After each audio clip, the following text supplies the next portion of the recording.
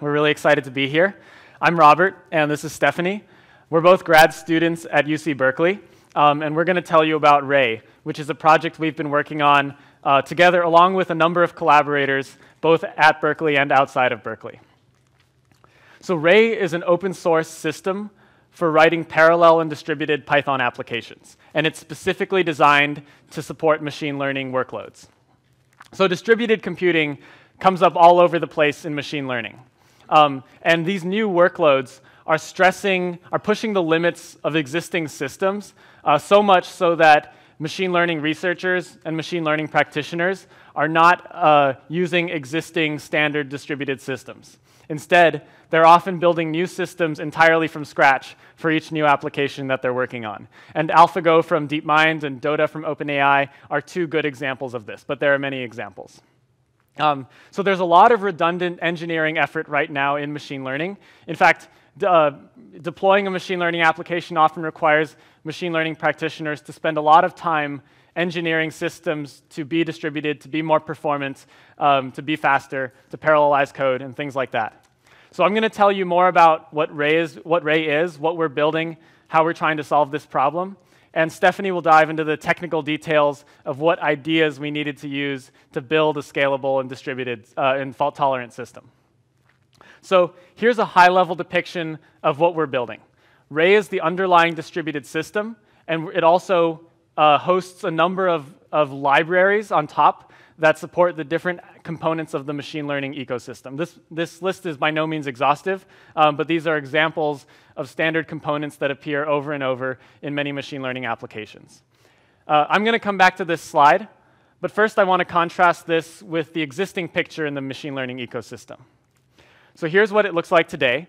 When we think about machine learning, we often think of training, machine learning training. Um, so this could mean taking a deep neural network and training it to recognize objects and images. It could mean uh, training a reinforcement learning agent to, um, to play Atari games or to solve some other task. Of course, uh, training is only part of the picture. Once you've trained your model, you need to take that model and do model serving. In other words, use the model to generate predictions or actions uh, in production. And of course, uh, hyperparameter search is another standard component of machine learning, the machine learning lifecycle. This means essentially running multiple experiments with different configurations uh, to find the, the right uh, uh, settings of the, the configuration. And also, you need to, in order to run these experiments, you often need data. You need to load that data from somewhere, process the data, transform it, uh, feed it into your application. Um, and that data may come from a streaming data source as well. So all of these boxes represent computational patterns or components that appear in, in many machine learning applications. And today, each of these components is implemented as a standalone distributed system. So here are examples of different distributed systems for these specific components. You have tools like Horovod and distributed TensorFlow for training. You have tools like Vizier for hyperparameter search, uh, MapReduce and Hadoop for data processing, uh, things like that.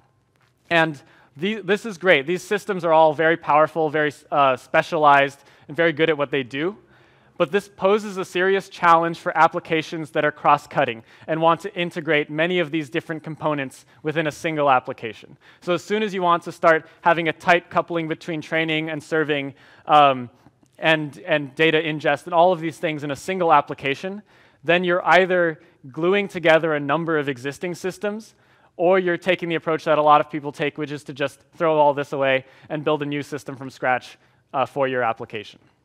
Um, so what we're working on is trying to take all of these, uh, these components, which today are standalone systems, and re reimagine them as libraries on top of a single distributed system. So here we're building Ray, which is the underlying distributed system, along, and we're also building these libraries on top, which uh, support the different components of the machine learning lifecycle. Um, now, it's already you know, really interesting and really valuable to be able to do each of these boxes individually. But we're, what we're excited about and where a lot of the potential really comes from is being able to enabling applications that integrate all of these different components together and enabling new things that are difficult to do today. So um, this is a, a, picture of what we're working on, and now I'm going to describe the different uh, abstractions within Ray. So at the highest level of abstraction, we have a set of libraries targeting the machine learning ecosystem. Some of these are already fairly mature, such as our libraries for hyperparameter search and distributed reinforcement learning. Others we're working on right now. Um, and you'll notice all of these libraries have very different computational patterns, very different uh, systems requirements and performance requirements. So it's difficult, in order to support these on top of a single system, you have to have a very general and flexible and expressive underlying programming model. It would be difficult uh, to support all of these on top of a single system like Hadoop, which um, targets a specific computational pattern. So to get expressivity and generality, we have an underlying programming model based on tasks and actors. This is essentially taking um, functions and classes, right, which are two core concepts in programming languages, and translating those into the distributed setting. So we provide the ability to take arbitrary functions and execute those remotely and asynchronously as tasks, and we provide the ability to take arbitrary stateful objects uh, or classes and instantiate them as services that you can talk to through a certain API. Um, so I'll say more about what the API looks like and how you use that uh, in a real world example in a second. Um, but this is where the, the expressivity and the generality is coming from. Underneath the programming model, we have a backend which, um, which handles things like scheduling, failure handling, uh, object transfers, uh, resource management, and um, these kinds of, of tasks.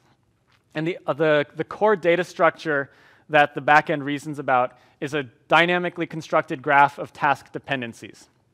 Um, and Stephanie's going to talk more about how we make that scalable, how we uh, implement that, and what the challenges there were.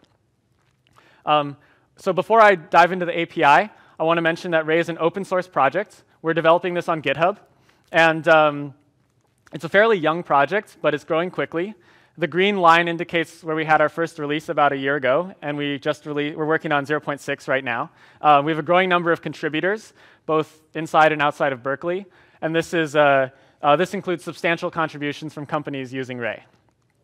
Um, so we have an increasing number of production use cases, and one uh, use case I want to highlight is from Ant Financial in the upper left corner. So Ant Financial um, processes a substantial chunk of the, of the financial transactions that happen in China. Um, and they've used Ray to build a, um, a tool or system for detecting money laundering and other forms of fraud. So the interesting thing here is that um, it's a very complex application. You have streaming transactions coming in, which contribute to building up a graph of, of, financial transactions, and you need to be able to dynamically query this graph. And the previous iteration of this tool they had before using Ray uh, required stitching together three different distributed systems to implement the functionality they needed. And they were able to use Ray to consolidate that down to a single distributed system. Um, so this is one of the kinds of applications that becomes easier when you have a general purpose underlying system. Okay, um, so now I'm going to tell you a little bit about what the API looks like. So here are two regular Python functions. Uh, the specific details don't matter we can take, uh, we can add this ray.remote decorator. And now, if I invoke one of these functions, so I call zeros.remote, um, what that does is it submits a task. It generates a task which is handed off to the back end, which schedules it on some machine and assigns it to some worker, where it'll execute uh, asynchronously and eagerly. Um, and the actual function invocation that you're running in Python, this zeros.remote call, will return immediately um, and uh, without blocking. Um, and that will return this ID1 object, which is a future or an object ID, represent, representing the eventual output of the computation. Um, now, if I submit another task, then that will uh, then these two tasks can execute in parallel because there are no dependencies between these tasks. And this picture on the left hand, on the right hand side, is um, a depiction of the, the data structure that the backend is keeping track of. Um, so the, the white circles are tasks, and the, the blue squares are, uh, represent the, the outputs of those tasks. And as you can see, there are no dependencies between these tasks. We can take the futures that are output by these two tasks and pass them as inputs into a third task. Um, and that uh, constructs, that uh, defines an implicit dependence of the third task on the first two tasks. So the third task won't, the dot task won't actually be able to execute until the first two tasks have finished. Um, although the, the, the, three lines of Python that you're actually writing will return immediately. Um, so you run these three lines, that constructs this graph, and then as the object dependencies become available, the tasks will execute. And if you want to block and wait for the computation to finish and retrieve the results, you can call ray.get to do that. This will block uh, and then actually return the output of the task. Um, so if you're familiar with composable futures, this, is, uh, this should look fairly familiar. It's a very powerful abstraction, and it lets you build scalable applications uh, pretty easily out of the box. One thing this doesn't do is it doesn't let you share mutable state between multiple tasks. And that's actually very important for machine learning. Um, mutable state comes up all over the place. It could be the state, the weights of a neural network. It could be the state of some simulator. Uh, it could be some encapsulation of some interaction with uh, the real world. And so to encapsulate state, we uh, are using an actor abstraction. So here's a Python class. It has a, it, it's just a toy example. It has a counter, and it has a method for incrementing the counter. Like before, we add this remote decorator, and now when we create one of these counter objects, what that does is it starts a new process somewhere in the cluster with this, uh, the counter object state. And method invocations on that object translate into tasks that are assigned to the counter actor and executed on that actor. Um, and like before, these tasks return futures. Um, you can invoke multiple tasks, and um, each uh, actor task is implicitly dependent on the one that executed right before it. Um, and these tasks actually share the state of the counter process and can mutate it. And like before, you can call ray.get to actually block and retrieve the results of the computation. Um, so these are two different um, abstractions. You have tasks and actors, but they actually, uh, under the hood, they're all um, working on top of the same dynamic task graph abstraction. And um, mutable state is encoded in the graph abstraction. And these things are very interoperable. It's not the case that you either use tasks or actors. In this, as in Python, you use both functions and classes together. Here, you can compose these things together. They can be nested within each other. And there are a lot of different, um, they interoperate pretty seamlessly. So now I'm going to give you an example of how you actually can use these, uh, I'll, I'll, just uh, show you on my laptop, you can use these tools together to implement um, an actual interesting example. So if you're familiar with the term parameter server, uh, this is, comes up in machine learning and distributed training. You have, uh, the setup is you have one or more parameter server processes and one or more worker processes. Um, here, a parameter server is essentially a key value store. It holds the weights of a machine learning model, for instance, the weights of a neural network or the coefficients of a linear model. And the workers run in a loop where they, the workers each have some data, and they compute updates to the model and send those updates to actually update the parameters, and then they get the latest parameters, and then they just run this in a loop. Um, so a parameter server is something that's typically uh, implemented and, and shipped as a standalone system, kind of like a database or a, a key value store. But here, um, we're implementing, I'll show you how we can implement a parameter server as a simple application in a few lines of Python on top of Ray. Um, so let's see. Um, so I'm going to start up um, Python, and um, hopefully this is large enough. And I'm um, going to import Ray, and then I'll call ray.init, which starts the relevant Ray processes. That includes a scheduler and an object store. Stephanie's going to talk more about the architecture uh, in a few slides. Um, so if you were, this is on my laptop, but if you were running on a large cluster, this is the only line that would be different. Okay, so um, I'm going to import uh, a few things. So now if I were to um, define a, a parameter server as a Python object, this essentially, it needs to have some parameters. Um, so we're going to just initialize its parameters to a vector of zeros for simplicity. Um, and then it has a method for getting the parameters, getting the latest parameters. And in this case, that's all we're going to do is return the parameter vector. Um, and it also needs to have a method for updating the parameters, which will take some sort of gradient update. And then we'll, uh, there are a lot of different update rules you could use here, but what we're going to do is just add the gradient to the parameter vector. So now, um, to uh, translate this into the distributed setting, we can add this remote decorator. And now if I, I'm going to uh, try to move the bottom of the screen up a little bit. Um,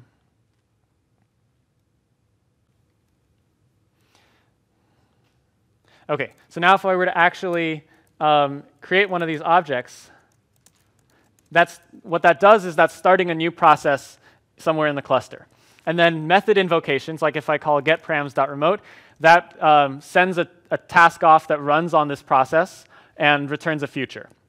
And if I want to block and retrieve the results, that's I can call ray.get, which is um, uh, yeah, which is that's actually retrieving the output. Okay, so that's the in this picture that's starting one of we've just started one of these parameter server boxes, these processes. Um, so the next thing we want to do is start some workers. So I can define some worker tasks, um, which are essentially they can just be functions which take a handle to the parameter server. And they're going to do they're just going to run in a loop. So maybe we'll do 100 iterations. They're going to do three things. They're going to get the latest parameters compute a gradient update and then send the update to the parameter server uh, so to get the latest parameters it's just a matter of calling ray.gets on um, the parameter server.getParams um, and uh, then we're going to compute a gradient update here i'm just going to make up a pretend uh, gradient uh, but this is where you would use TensorFlow. This is where you would uh, use the data that you also have available um, to actually compute the gradients. Um, and we'll say that takes some small amount of time. And then we're going to send the update to the parameter server. OK, so this defines the worker task. Now we can start up a few workers and pass in a handle to the parameter server. So here I'm starting three workers. Um, and then if we go back and actually get the parameters, you can see they're being updated in the background. So what we did here is we, um, going back to this picture, um, we started some workers and, and wired them up to communicate with the parameter server. So now we have some parameter servers and some workers, and they're talking with each other. Um, and the exciting thing here, like I mentioned, is that um, a parameter server is usually something that is implemented as, as a standalone system. And here we're able to recreate a, a toy version of that in a few lines of Python. Um, and one thing that gives us is a lot of flexibility. By being able to uh, implement the parameter server at the library level or at the application level, if we want to configure it differently, say we want to shard the parameters across multiple parameter servers, we can just start up multiple copies of this actor or if we want to switch from synchronous training to asynchronous or vice versa, or if we want to change the update rule uh, about how we update the parameters or handle stragglers differently, or, um, or any other number of, you know, wire thing, the communication up differently. It's just a matter of, these are all a few lines that need to be changed in the application itself.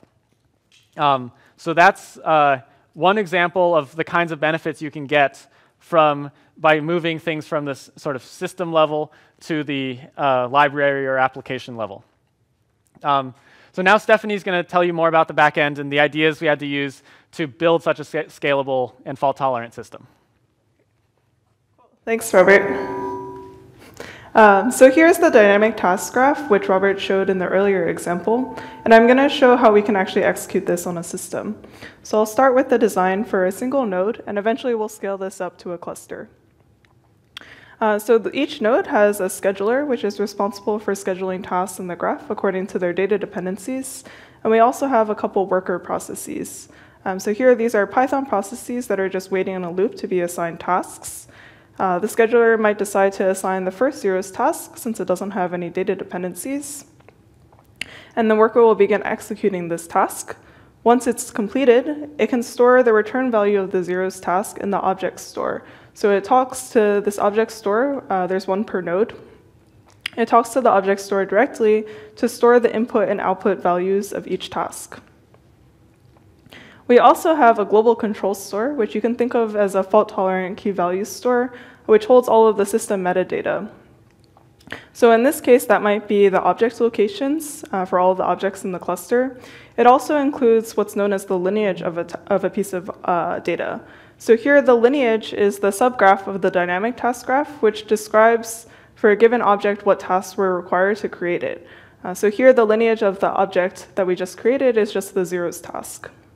So the scheduler would write this to the global control store, and as we'll see soon, this is important for fault tolerance. So next, if we want to scale this up, uh, let's say that we now have multiple nodes that all look identical.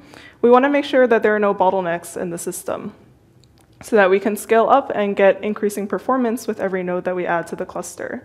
Uh, so these nodes might execute tasks independently. So this third node might execute the other zero's task and store the second object in its own object store. It might write that location to the global control store and also the lineage of the other zero's task. So these schedulers can talk to each other directly in order to transfer data from one node to another.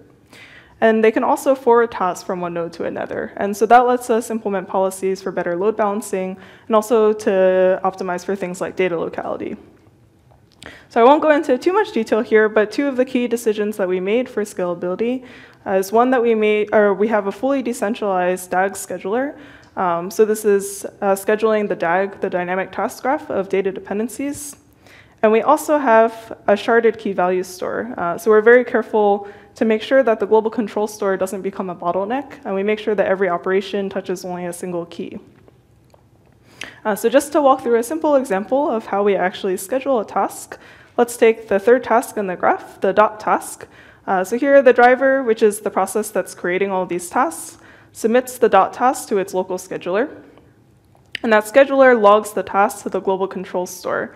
Uh, and we do that so that we have the full lineage of the dot task. Again, this is for fault tolerance, uh, so I'll show that in a, in a few slides. So now let's suppose that the scheduler decides to forward the dot task to another node, and it might do that, for instance, because that node already has one of the dependencies available.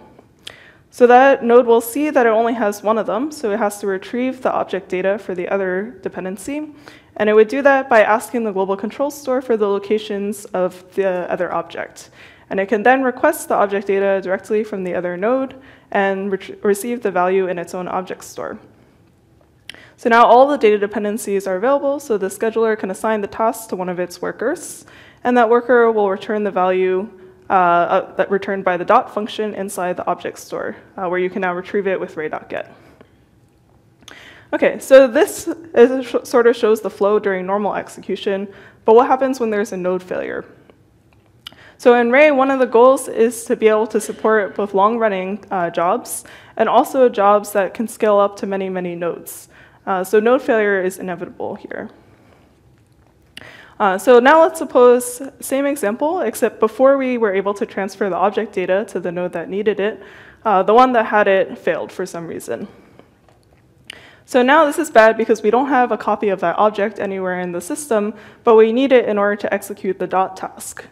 So what we can do here is actually rely on the lineage that was stored in the global control store. So this is a pretty classic idea. What you can do is just walk the lineage of the dot task and see which dependencies are missing, and then replay any of the tasks uh, that we need to produce those, uh, those objects. So here we can re-execute the second zeros task just by assigning it to one of our local workers. That worker will return the value object 2 inside the local object store, and now we can assign the dot task same as before. So we're able to fully re-execute just by re-executing the single task. So what's really nice about this technique for fault tolerance is that recovery can be really fast. And that's because you only have to replay the work that was actually lost. So in that previous example, we only lost the data, object 2, and we only had to re-execute one task in order to get it back before we could continue executing. On the other hand, this actually adds significant overhead to normal execution, and that's because you have to do this extra work to record the lineage of each task. Um, so this is the part where you're actually logging the lineage, that dynamic task graph, to the global control store. And you have to do that during execution if you want to be able to recover. And as I'll show in a few slides, it's actually important that you do this, uh, this commit. So you want to make sure that the task lineage will survive in case there's a failure. Uh, you have to do that before the task actually starts executing if you really want to make sure that you only have to replay a minimum amount of work. So this is one example of a key trade-off in systems design where you actually have this uh, trade-off between fast execution when there are no failures versus getting fast recovery when there is a failure. Uh, so another alternative technique that shows the opposite end of this trade-off is actually global checkpointing. Uh, so in that method, you don't log any of the lineage at all during execution. Instead, you just take a global checkpoint across all of the workers in the system. So that means you're adding minimal overhead during execution. On the other hand, once there's a failure, even if it's just a failure of a single node, uh, you end up having to roll back the entire system to the most recent global checkpoint. And that, in general, if you have a very large cluster and a long running job, that might actually end up wasting a lot of significant work. So, in the past, because of that trade off, uh, lineage reconstruction techniques have been really successful in supporting applications that have coarse grained tasks. And what I mean here by coarse grained is tasks that run on the order of seconds. Uh, so you can think here of big data processing systems like Spark or Hadoop, where they're really worried about getting high throughput. So the latency for a single task doesn't matter so much. Uh, but for the applications that we're targeting, we're actually looking at applications that have a high throughput of many fine-grained tasks. So these might run on the order of milliseconds. And that includes applications that Robert mentioned, like stream processing, graph processing, interactive queries, and also end-to-end reinforcement learning applications. So all of these applications have a large number of tasks per second uh, that each run on the order of milliseconds. And the reason that milliseconds uh, thing is important is because if you think about an application where each of the tasks takes only a millisecond to run, but then you have a system that's adding maybe 10 milliseconds of scheduling delay per task, that's already a 10x overhead uh, that's just added by the system. So the goal for the rest of the talk is to see whether Ray can get uh, both fast task execution when there are no failures, as well as fast recovery when there are failures. Uh, so this is kind of a rhetorical question, but uh, so yeah, we're going to show first why previous lineage-based solutions end up being slow when there are no failures. So that's to demonstrate the trade-off that I mentioned earlier. Uh, next, I'll show how Ray actually avoids the execution overhead um, that we see in these previous solutions. And finally, I'll show the benefit that we see for Ray applications. Okay, cool. So in previous solutions, uh, the main technique for correctness, uh, so being able to recover from a failure, is just to commit the lineage first. Um, so first we'll see, we'll walk through an example and see what happens if we don't do that. Um, so now we have a lineage storage at the top, which is the global control store from a few slides ago. And this is a fault-tolerant storage system uh, where you can write a task's lineage uh, to this storage system and guarantee that it won't be lost if there's a failure. Uh, at the bottom, we have two uh, independent nodes, each of which is running their own scheduler. And we're going to submit a simple application to the first node. Uh, so this is just two tasks, one of them dependent on the other. And we're going to begin by committing the lineage uh, to the global storage. But here, we're not going to wait for that commit to finish. So we're going to try and schedule the second task immediately to the other node, uh, which accepts it for execution. And now what happens is, in the case of a node failure, you're not going to be able to recover completely. Um, so here, if this first node dies, um, normally what we would do in lineage reconstruction is walk the lineage of the second task. Uh, but now that lineage is actually here, we never wrote it to the global storage, so it's not available anywhere in the system. And so that means now the second node actually can't re-execute its task, or it can't execute its task at all, uh, and the system can't make progress. So the solution here is pretty simple, which is just to wait for that commit to happen first before you schedule the second task. Um, so here we want to wait for the lineage storage to accept the task, and then we wait for an acknowledgement back that the task has been committed. So now it's safe to schedule the second task uh, to the remote node, which accepts it for execution. And now let's see what happens if that first node dies. Uh, well, because we know that the, the lineage has already been committed, we can retrieve it from the lineage storage. And now the second node can continue to make progress. So this is just a simplified example, but the main point to show here is that you have to pay this round trip to the global storage system before you can execute the task. So that's on the critical path for task execution. And this might not seem like such a big deal, but if you think about it, you're actually having to do this fault-tolerant write uh, to a remote system. And this is also uh, represents a bottleneck in the system. So if we have, for instance, a very high task load at a certain point in the system, we're going to end up adding uh, increasing queuing delay at the lineage storage system, and that means increasing queuing delay for every task that we execute. So the goal in Ray is actually to try and get predictable performance uh, for task execution. So we want to try and avoid any bottlenecks, at least on the critical path for task execution, and just sort of defer this step uh, to later on in the execution. So the idea is pretty simple. You just commit the lineage later. Uh, but now the main problem is just is being able to guarantee correctness uh, now that you no longer have this uh, sort of centralized source of truth. so instead, we'll now have a lineage stash at each node, uh, which you can think of as an in-memory subgraph of the global dynamic task graph, and we're going to use this to guarantee correctness. So now, instead of writing the lineage first to the global storage system, the first node will just write the lineage to its own stash, uh, which is really fast because this is just local memory. And now it's safe to forward the task to the remote node. But this time, instead of just forwarding the task, we also forward along with it any uncommitted lineage. Uh, so that's any lineage in our local stash that hasn't been committed in the global storage system yet. This task will add the lineage, or the other node will add the lineage to its own stash, and then accept the task for execution. So here you can see we've basically taken that step to the global storage system off the critical path. Um, instead, the only message that we're using is the one needed to forward the task from one node to another. And we can actually now commit the lineage to the global storage system in the background. Uh, and this is mostly so that we can keep the size of the stash small. um, so now if we look again at what happens when there is a node failure, um, we can see that because we forwarded the uncommitted lineage before, now the second node can retrieve the lineage from its own stash and continue executing the graph. So basically what we've done here is get uh, the total number of steps required in terms of the number of messages required um, down to the minimum of just scheduling the task from one node to another. But we have this added benefit of being able to guarantee the same correctness as if we committed the lineage first. Um, so I'll show next the benefit for applications. Um, so here we have a distribution of latencies. Uh, so this is the latency between task submission and then task execution. And I'm measuring this in a simple application where we're just forwarding a bunch of tasks from one set of nodes to another. Uh, and in this case, it's at a rate of 2,000 tasks per second per node. Um, so here, this is the version of Ray without any fault tolerance at all. So what I've done here is basically just turn off lineage logging completely, uh, and it just forwards the task immediately. So this is really the minimum required uh, in order to execute a graph. And you can see here that the latency is actually really predictable. You have a relatively small tail, uh, and all of the tasks complete within tens of milliseconds. So that's in contrast to the design that I showed earlier where you have to commit the lineage first before you schedule the task.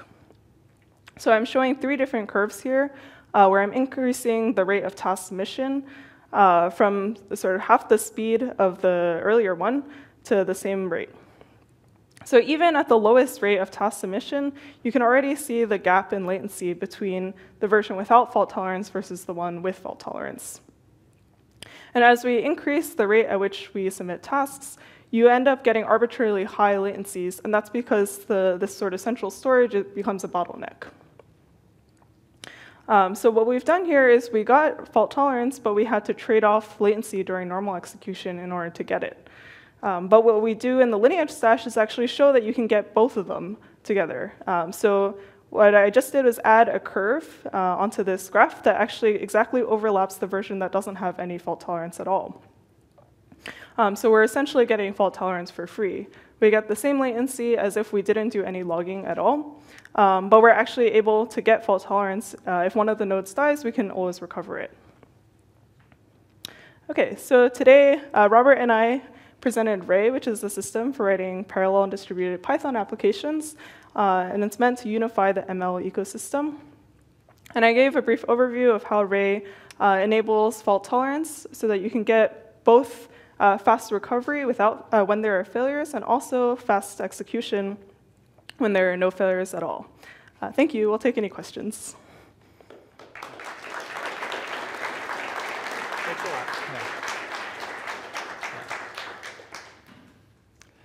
Uh, yeah. Um, yes, I, with regards to the lineage stash um, and forwarding uncommitted lineage to, to the other node, Mhm.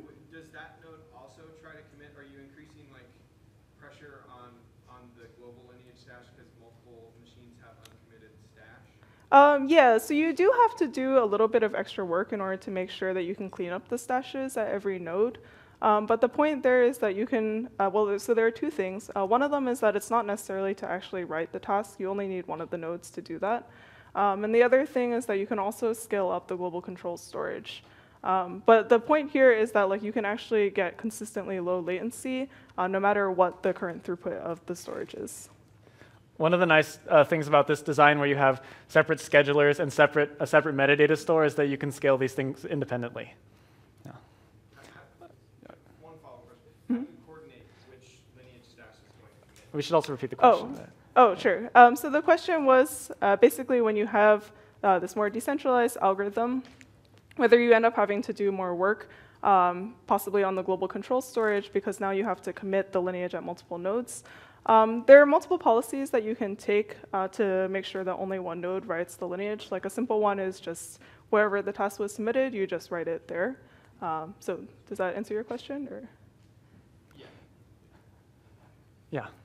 Um, I, I was gonna, uh, politely quibble with, if if I may, with the for free, because you're shipping around the task graph, right? That's, that's how you're achieving the fault tolerance, right? Is basically an increase in network utilization between these nodes that are. Right, otherwise yeah. in the, in the alone. right? Yeah, that's right. But the point is that so there's the latency of sending that initial message, which you have to pay anyway. Uh, and now, like what you're doing is adding the amount of data that you have to send over, but that data is relatively much smaller to send Yeah. compared to the latency of the initial message. Yeah. Yeah, no, it seems like a reasonable trade-off to make. It's Yeah. just- Yeah. Uh, it seems like there are a lot of parallels between this and like, uh, shipping a distributed log around. Yeah, in a way. So you can think of the lineage as a log. Um, it's just a, a very structured log where we know that it's a DAG. Yeah. All the way in the back? Yeah. How does any node recognize that which other nodes is free and pass on the task to the next node? Right. So I think you're the- asking. uh, yeah. Sorry. The question was, how do you know uh, what other nodes are free? Um, and so you can. This is sort of a question about scheduling policy, uh, which we're not really going to cover in this area, mostly because. Like, you can say a little bit, right? Yeah. That- so I mean, so we the goal there is to basically mimic a centralized scheduler with a decentralized scheduler. Um, and so some of the things that you can do are basically pass around resource information between the nodes uh, so that each of the nodes can make decisions on their own. And then there, there's like some extra work that you have to do to make sure that you make a good scheduling decision, uh, since now you're working off of stale information. Uh, but we can talk more about that offline if you want. because each node has a slightly stale view of the entire system, um, we don't assume that we make perfect scheduling decisions up front. It's possible to make bad scheduling decisions, um, but then we can always correct for them, and uh, tasks can be, can be moved back or spilled back to other machines if the load on a given node is too high. Uh, yeah. You mentioned earlier on as a you know bespoke system that you would want to replace with a you know as a library that would use Ray. Do you have an example of multi-GPU training using Ray? Um, so we do have an example. So the question was, uh, we mentioned Horovod for distributed training as an example of a system that could become a library. Um, so we do have an example of distributed training and implementing primitives like allreduce on top of Ray. Um, in these cases, we are, we are absolutely still using um, existing deep learning frameworks, so whether that's TensorFlow or PyTorch or something else. Um, we are not building our own deep learning framework, but we are treating them as uh, essentially as single node libraries that do, uh, and we'll, we, in that case, we let TensorFlow handle um, uh, distributing computation across multiple GPUs within a single machine, and we use Ray to coordinate the scheduling and uh, data transfer across machines.